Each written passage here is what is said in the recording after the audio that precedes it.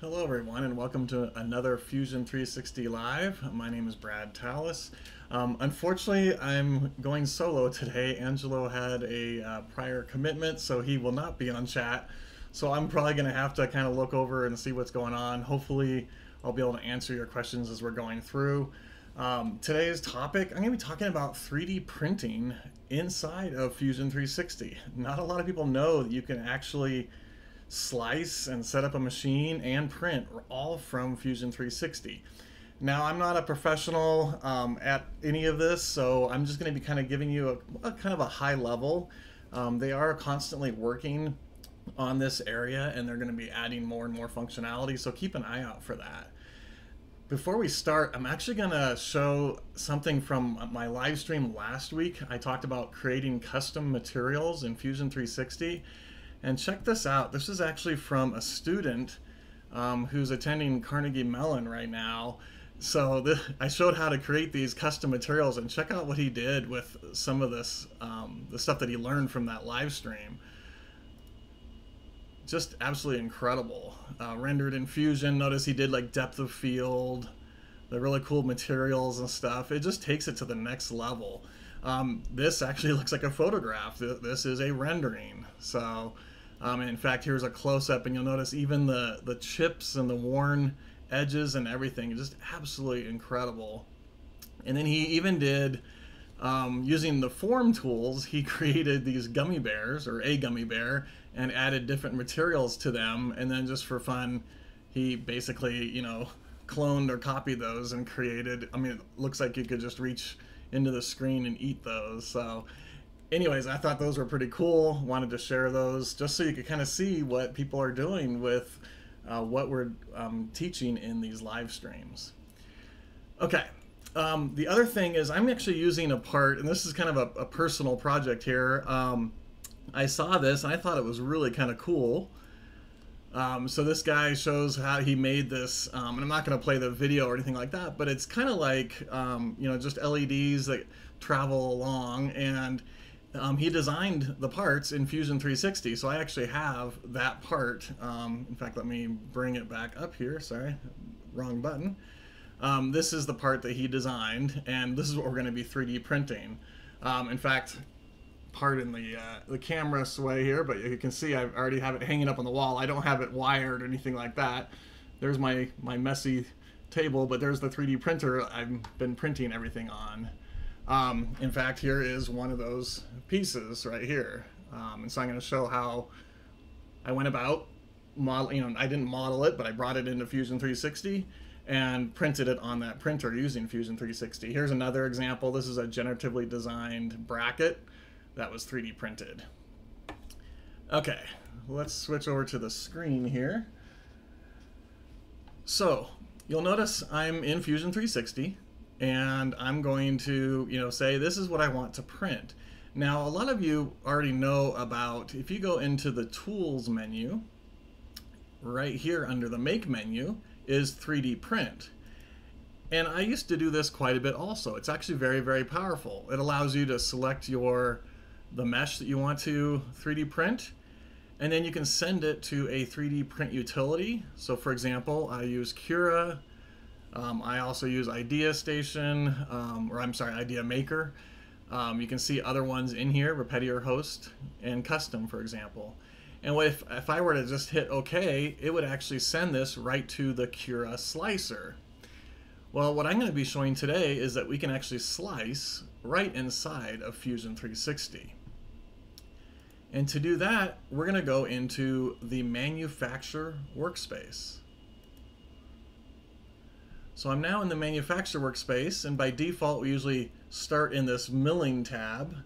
But you'll notice there's turning, and then there's additive, and inspection, etc. But I'm going to spend today in the additive tab. You'll also, it's very similar to how you would just do a regular part, um, you know, on a CNC machine. You're going to start with a setup. It's going to create the toolpath for us automatically. And then we can come in and edit and change that. So let me just walk through those steps. Now, for me, um, as I was doing some testing and stuff like that, I ran into a problem when I would print, it would print in the corner like really tiny small. And what I found out is my units were set to inch.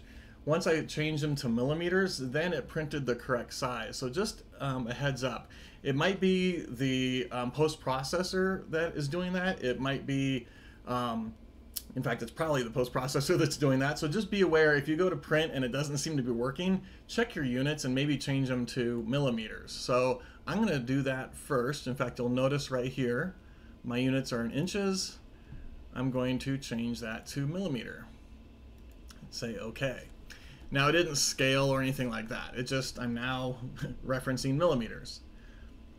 So I'm going to create a new setup and then you'll see something kind of weird happen. I, I kind of see this block or whatever. Well, that's going to change as we get moving on here. So I'm now in my setup menu or my setup dialog, and the very first thing you see is machine. And I can select the machine. So I'm going to go ahead and click on select. Okay, so this is going to bring up my machine library. Now, you'll notice it brought up the latest one that I've been using. So I have an Alfawise U21 printer. That's what I showed you earlier over to the right of me. But I'm going to click on this Fusion 360 library. And I have a filter for additive. If I turn that off, it's going to show like a whole bunch of them. You'll see my scroll bar gets really long. Like you can see all the Haas machines and all that kind of stuff. Obviously, all I want to see are the additive machines. And now you're going to see the different technologies SLA, FFF, SLM, etc. So I could even filter for those. I'm not going to in this case, just so you can kind of see all of these. And I'm just going to kind of scroll down, and you'll notice that we have, you know, ANET, um, Anycubic, the Big Rep, a bunch of the Creality, you know, like a CR10, the Ender 3, Ender 5, etc and then you'll see Formlabs. And notice the Formlabs actually have little pictures next to them. Um, you can actually add pictures of the 3D printer uh, into this library. The rest of these are just kind of like the default blank ones.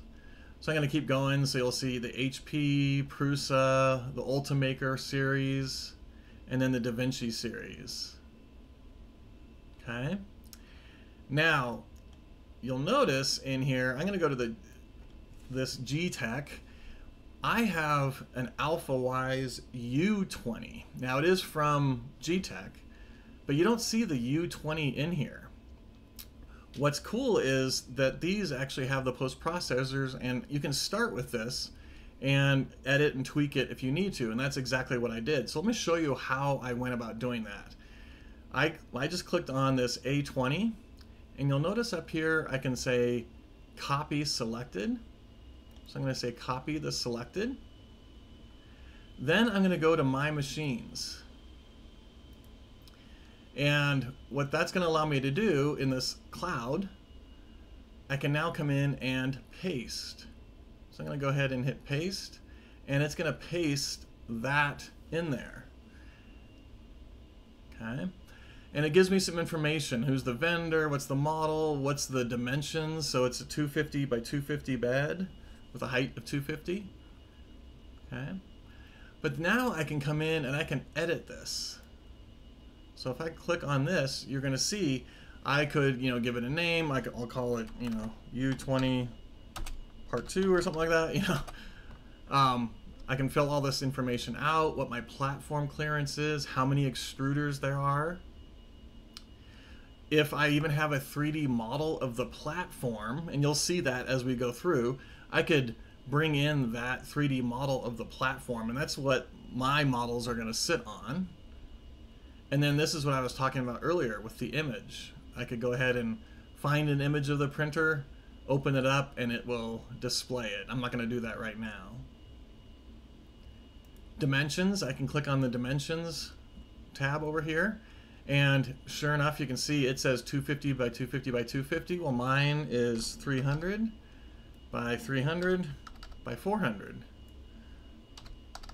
And the home position, I'll leave it at 10, 10, 10. I'll just say OK. And now you can see the machine settings, the machine dimensions are 300, 300, 400. Okay. Um, so I just glanced over at the chat, and Ayal asked, "What printer am I using?" And and it's this exact one you see right here. Um, in fact, I um, did a review of this printer um, out on my personal um, YouTube channel, so you can look for it in there. So just search for Fusion 360 Brad Tallis.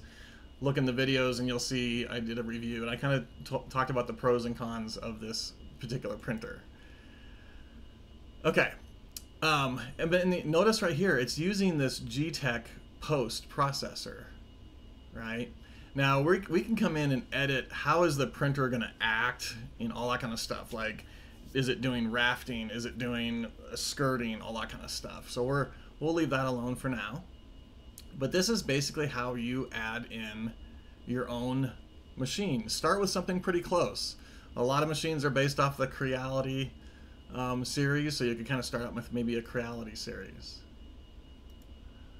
Um, notice mine has an image, so it kind of looks pretty cool here. It kind of shows this is the exact printer, what it looks like. You can see it has a pretty tall um, z-axis, so it can print some pretty tall, you know, 400 millimeter tall um, objects. So I'm going to select this as my um, printer. And just again, quick review, if I go to this library, I can see all of the other ones that are available. And I could start with any of those and tweak them if necessary. Now you'll notice it says My Machines Cloud. Um, you definitely want to make sure that you have a preference set, and I'll show that here in just a second. So notice what happened now that I've selected my machine, and it tells me what it is right there. Notice this preview kind of changed a little bit, and this gray tray that you see here, that's that 3D bed mesh that I was talking about. So you could actually model it to be, you know, flat or thinner, like it's a glass plate or a heated bed or whatever. Um, you can actually model that if you want to. Okay, that preference I was talking about. I'm going to go up to my initials or my picture, go to preferences, and I always have to remember where it is. So under manufacture, enable cloud libraries. You will definitely want to have this turned on. Okay, so make sure you have that turned on. And that's how I was able to um, pick that machine. Okay. I could edit it if I needed to. I've already shown you how to do that, where it allows me to change the size, etc. And then you see print settings. So I'm going to click on print settings. Right now it shows I'm using PLA, the 1.75 millimeter, 0.4 nozzle. And so you can see here we've got some default materials. So ABS, CPE, some PLA, PVA, etc. And then also notice PLA um, 1.75 0.2 millimeters, right? Um, but I don't see a 0.1 millimeter height. So this is a 0.2 millimeter height. This is showing that here. I can do the exact same thing. I could copy this, this selected material, okay? Go to the cloud. In fact, you see I've already done that, but I'll go ahead and in here and paste this in. So now you can see I've got a 0.2 and a 0.1. So I could edit this guy. And, and we're going to spend some time in this in a little bit later also, but you can kind of see that we can specify what the layer height, what the extrusion width is, etc. for the extruder. So I could have, uh, for example, uh, a coarse, a medium, and a fine. So I might have like a 0.3, a 0.2 and a 0.1, for example, different layer heights, um, or different, I should say, different materials or print settings. And then that's what we will use when we print. So I'm going to go ahead and let's just do the, the 0.2 millimeter. Okay, I'll select that guy. And, I don't, oops, don't know why it switched on me. Um, okay, and it looks like I accidentally started something in the background, so let me close that out. Okay, So we've done the machine, we've done the print settings. Obviously we're going to do an additive um, operation type. You'll notice it says arrangement automatic. So I can print multiple objects. So if I had multiple 3D models and I had them all selected, they'll all come in and get arranged on this platter. We're just going to do one for now. And I'll just go ahead and say OK. So watch, because arrangement is automatic, when I say OK, it automatically puts it right in the middle. Now you're probably looking at this going, well, that's not how you'd want to print that because it would require support material. And this is actually a pretty simple model. Obviously, we'd want it to be flipped 180 degrees. So, notice over here on the left, you know, it says cam root, here's my models, here's my setups, just like you see in the regular uh, manufacturing workspace. But if I expand open this setup, we now see um, the printer. And you'll notice this little eyeball. So I can turn that printer on or off. So you can kind of see how it does that. I can see what I'm using. And then you'll notice this adaptive toolpath. And it has a warning next to it saying, hey, there's no toolpath yet. We're to spend some more time with this here in just a second. So we've done the setup. Now we can come into the position. And just like in other slicers, we can move components. So what's the component? This guy here. I could rotate it manually if I wanted to, 180 degrees. Okay, I can position it, locate it wherever I want it to be on my platter. Okay, I just canceled out. But I wanted to show this, automatic orientation. This is actually pretty cool. Now this is designed more for when you're doing kind of like the um, 3D mental metal um, sintering and stuff like that, where it might have to be supported at an interesting angle to minimize waste. That's what this automatic orientation does, but I'm going to show it with this guy here too. So I'm going to say automatic orientation. Um, so what's my target? That guy there. I can specify what my critical angle is. Do I want to support the bottom surface? And you'll notice this is checked. So if I leave this checked, it's actually going to lift it off of the bed five millimeters and print support.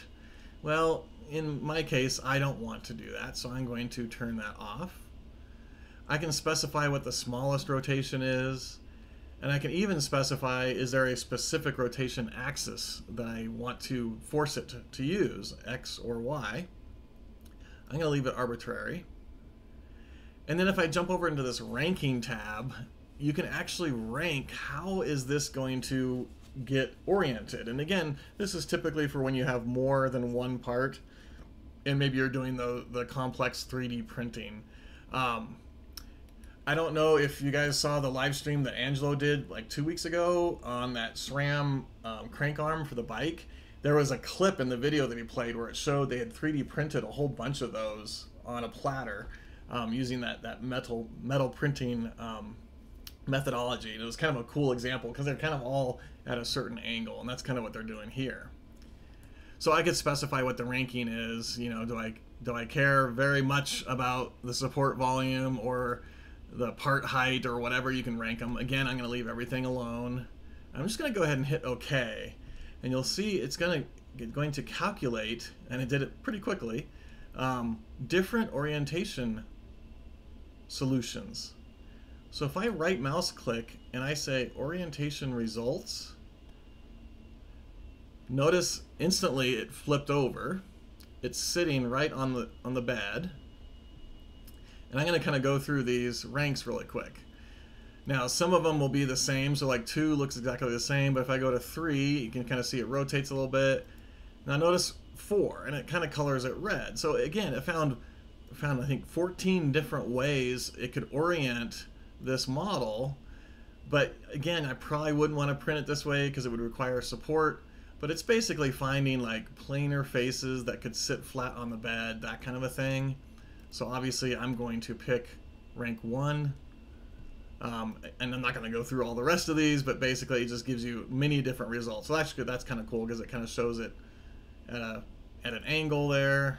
So different different options on how you could orient this for 3D printing.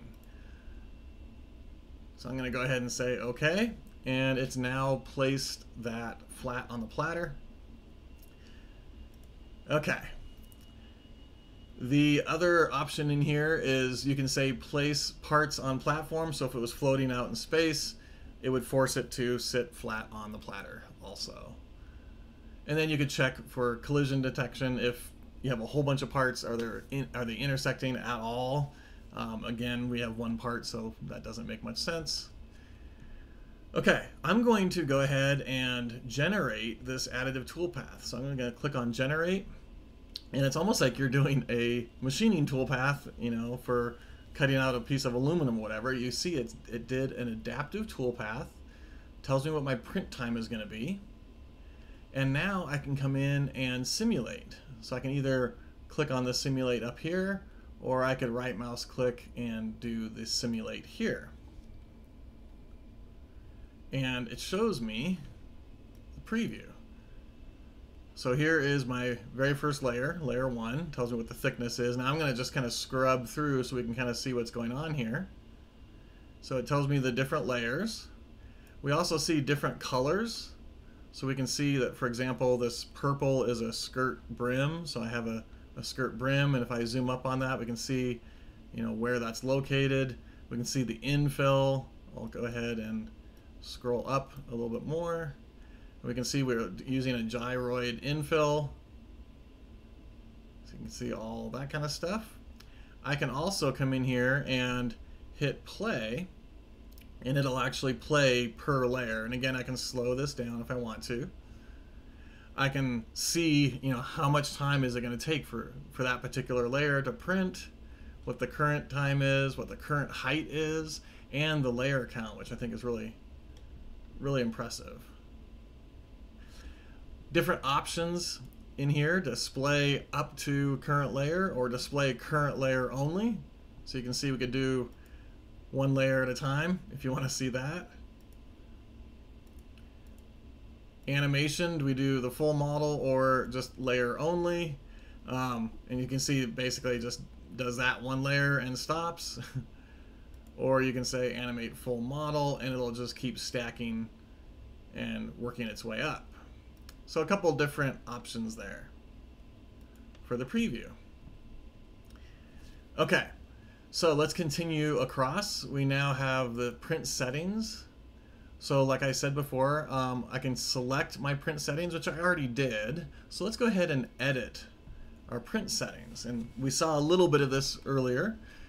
So broken down into different tabs. So what extruder are we using? We only have one. What's our layer height? Extrusion width, and then our infill density. So right now it's set to 15, and we're also using the gyroid infill. So let's let's crank this up to like 70 or something like that. I'll say OK, and you'll notice notice it dirtied my toolpath. So I just need to come over here and regenerate that toolpath, and it'll go ahead and calculate that. You can probably hear my machine cranking away in the background. Okay, I see a lot of questions coming through. Um, hopefully, I'm gonna I'm gonna plead for some help here since I'm going solo here. Um, if there's anybody on that's watching this that knows the answers to some of these questions, please feel free to answer those. Um, I would greatly appreciate that. Um, but I'll, again, hopefully, I'll have some time at the end to kind of filter through and take a look at those questions. So, okay. So it did the toolpath. We can see it says 119. Let's go ahead and um, simulate, and we should see a finer um, gyroid infill, and sure enough we do. You can kind of see much tighter infill, including in the arms, that kind of a deal. So just like if you're used to other slicers, it's very, very similar to that. Um, so again, I'll go ahead and edit those print settings. I'm going to change that back down. Let's just say 20. Now what's kind of cool is we have some pretty interesting um, infill patterns. So gyroid I use quite a bit. I like it. It prints really fast on my printer. But you can do like honeycomb and rhombic dodecahedron and um, rhombus 3D. I mean, there's just a bunch of different ones in here. So let's just do like the rhombus 3D. Um, let's just do, yeah, I'll just leave it 20. Let's just see what that looks like real quick. And then we'll move on through the other settings. So this one looks like it's calculating a little bit faster um, than the gyroid did. So let's take a look at what that looks like. So we'll simulate, scrub through, and so you can kind of see, sure enough, it's like a, a 3D pattern. And if we kind of zoom up, you can kind of see what that looks like. Kind of neat. So again, lots of different options in here for the different infills. Okay. I'm going to go back to gyroid. Again, I, I, would show all of them, but it takes some time to calculate. It's kind of fun just to go through and take a look at that. I'm not going to show every single command in here, but there's some really important ones, like what's my travel speed? Do we enable a raft? Do we enable support um, if it needs it? I can randomize the perimeter start point. That way I don't get kind of like a zipper seam um, on the edge of my part. Um, so I can randomize it if I want to. Do I have a nozzle wipe station? I don't on mine, so I'm just going to leave that alone. Um, and then you can see we can come through, again, I'm not going to cover everything, but what's our default bed temperature? What's my retraction length? Um, that seems kind of high. I might change that. Um, layer, so how many perimeters? And you can actually see that. Let me um, simulate this again. I'll say okay. Um, generate real fast, and then we'll simulate. So you can specify um, how many perimeters you have, and it even shows it in that color preview that I was showing earlier. And I'm going to zoom way up you can kind of see this red line and this green line. So the red line is this outer perimeter, and then the green is the inner perimeter. And so that's basically, you know, two wall thicknesses, and you can kind of see as I scrub up what that looks like right there. Okay.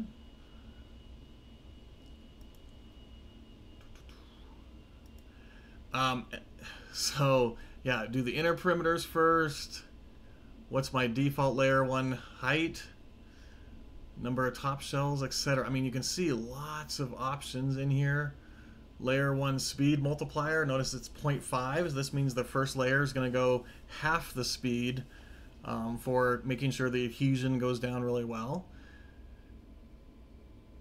Um, rapid Z lift, I don't have that turned on. Uh, infill, we've already kind of talked about, but here you can kind of see what's my infill angle, what's my infill speed, skirt or brim. So number of skirt or brim layers. Now, this is um, something I haven't figured out yet. I haven't had a lot of time to play with this. I either do a skirt or a brim, and I can't figure out how to tell it to do one or the other. It kind of looks like it does a skirt brim is basically what it looks like. It's attached to the model. I already, uh, shoot, I already pulled it off of this guy, um, but it was attached to the model. I like to have a little bit of spacing um, next to it, so hopefully I'll figure that out and I can share that with you guys. But you can kind of see, um, you know, the skirt brim distance, minimum length, what's the width, etc. Again, very similar to other um, slicers, rafts, I used to um, not use rafts very much until um, I, I, found some settings. Now I haven't tried them in here yet. I, I have them set in Cura, and it actually breaks off of the raft really, really easily. So I might see if I can move those numbers over here. And then obviously under the support, lots of options under here. And if you hover over, it'll actually tell you, you know, what's the angle for surfaces, steeper than which should be supported, um, you know, what is a seam width, extrusion width, etc. You can change your speeds, bridging, cooling, number of layers. The fan is disabled, so I have the first layer um, turned off because I like it to adhere to the bed. I have a heated bed. Um, and then once it's adhered, then I turn the fan on. Um, some people will wait until layer two or layer three. I've had good luck with layer one, just my personal preference. Um, and then the number of seconds that it should take to print each layer. And that gives you Um, like for example, if you're printing a pyramid and you're coming to a point, it'll actually slow down when it's printing that that top point. Otherwise, it just kind of melts into a glob. um, and then some options. You know, start at the home position. Are we doing uh, arc optimizations, um, verbose G code, etc. Okay. Okay, so that is the um, print settings. Now the infill is exactly like I showed before.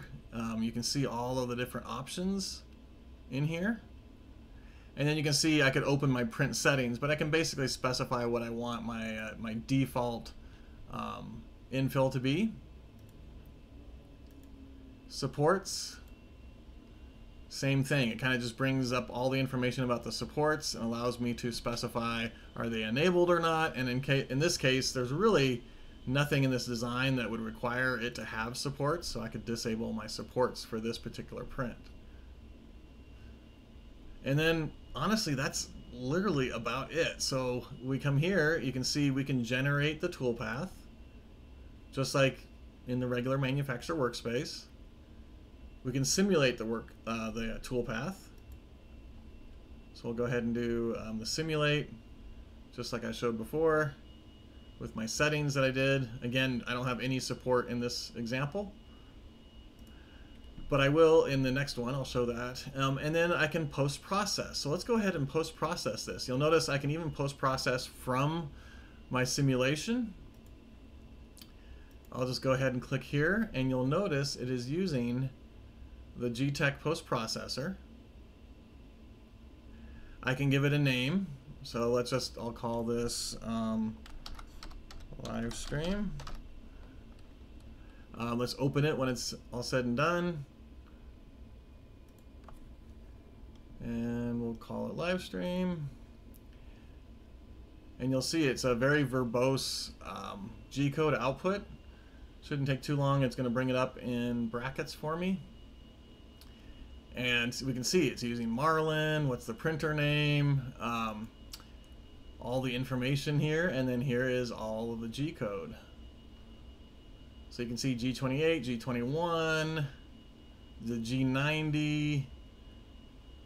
Here is the, uh, oh, actually, and I should talk about this. It actually does a prime um, for me automatically. So when it first prints, it actually prints a, a line along the front of the platter right here to kind of prime the nozzle and then it goes over and it starts to print.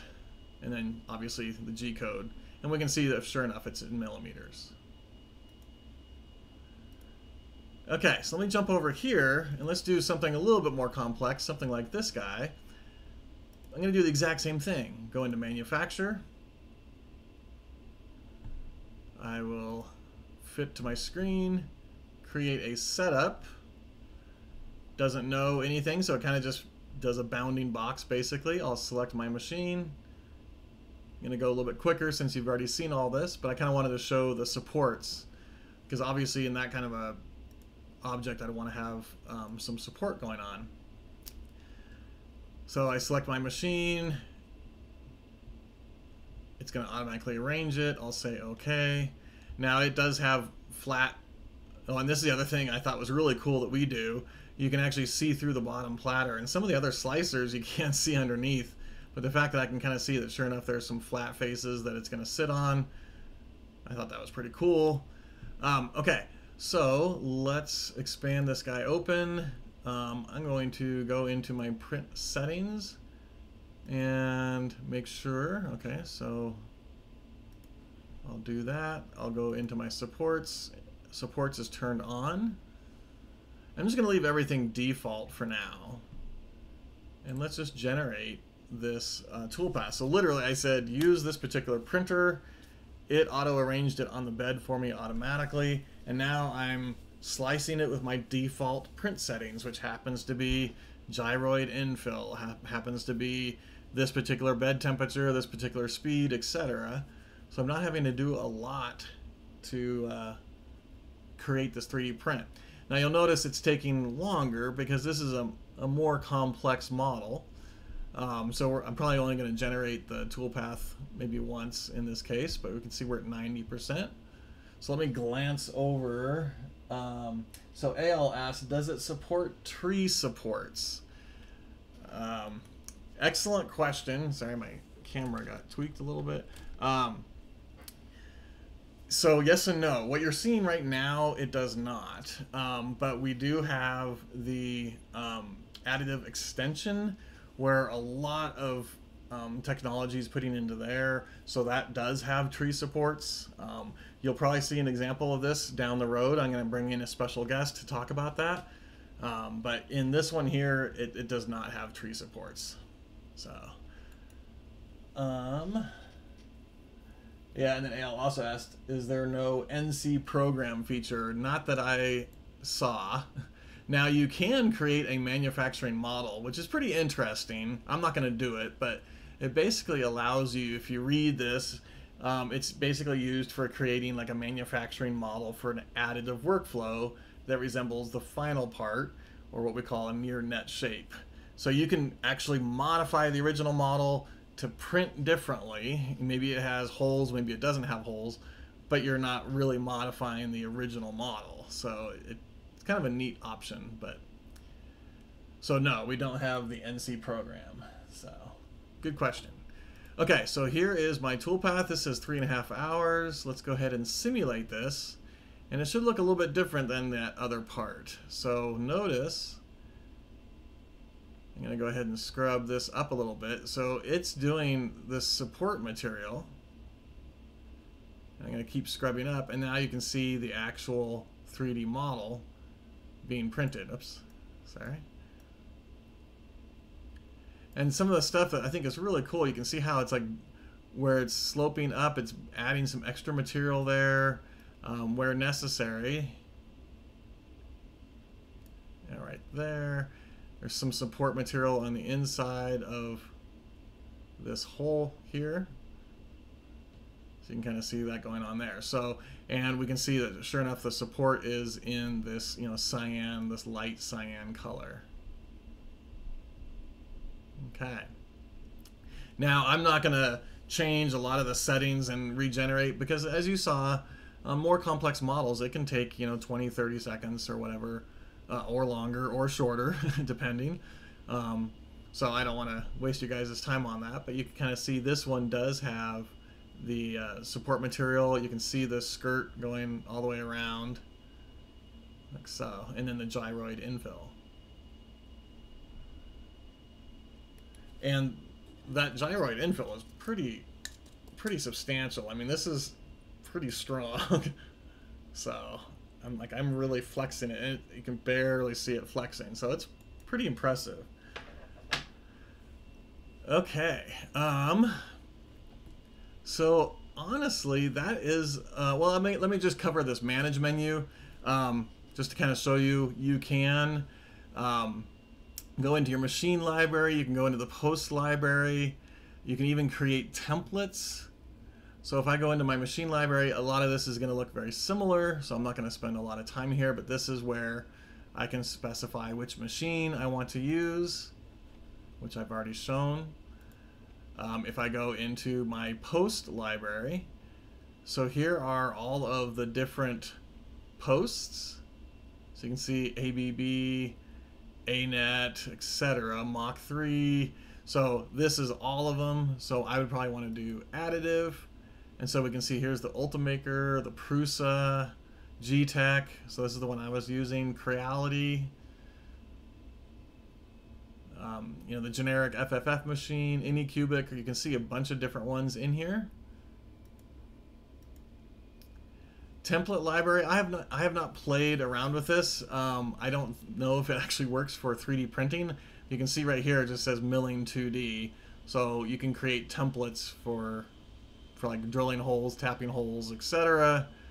I don't know if you can do anything with 3D printing. Like I said, I have not played with this very much print setting, I've already just shown that. But then you can export your defaults. And I thought this was really cool. So if I get my machine set up the way I really liked like it, I could export this out and share it with other people or have a copy of it, etc. And then you'll also notice we have this FFF post creation utility. So this will actually allow me to, and I have not played around with it, but allows you to basically edit your posts. Okay, so um, so you can kind of see here what's my start program. So maybe I have LED lights or something like that that I want to turn on uh, when it starts to print. Uh, maybe I want it to prime off of the table or something like that. I could specify that here and my end G code also. So, um, and that's about it. So, um, I am actually quite impressed. Um, I did. I'll be honest. I ran into some issues when I first started out. It I could see it start to print, and then it would just print really, really small. Once I got that figured out, then it worked perfectly, and it's literally amazing that I can you know model something in Fusion, and do the G code in Fusion and throw it over to my machine and have it print, and I don't have to have another piece of software to do that. It's all included in Fusion 360. Um, and like I mentioned before on one of AL's questions, we we are going to have this um, additive manufacturing um, extension, and it's going to do some incredible stuff. Um, basically, we're taking the Netfabb technology and bringing it into that extension. So different infills, uh, variable infills, all this kind of stuff. Again, I'm not going to talk too much about that. I'll probably have somebody demo it for you um, down the road. So I'm going to glance over at the chat and see if there's any that I'm able to um, answer. Like I said, I'm not a professional on this. Um, okay.